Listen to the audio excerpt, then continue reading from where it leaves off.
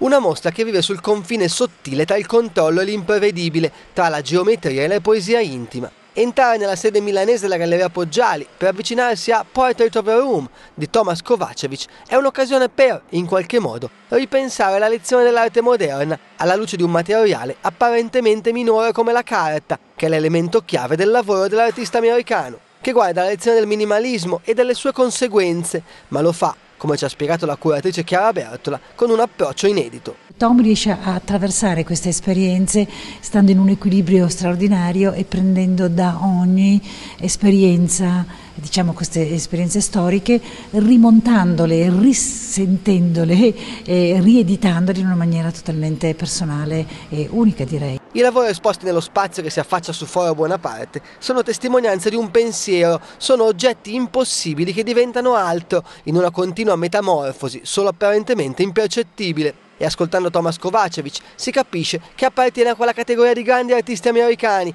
insieme per esempio a Carl Lander, Frank Stella o Richard Tuttle. I reacted with uh, joy. It's a beautiful space.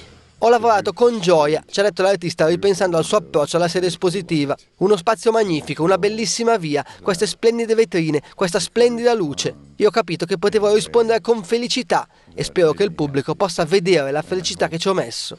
Others see the happiness that I put into this space. Una risposta che, si capisce, già aggiunge qualcosa al minimalismo, lo riformula, lo amplia, lo avvicina a noi, nello stesso modo in cui i lavori si modificano in relazione al clima della stanza. This work responds to the environment.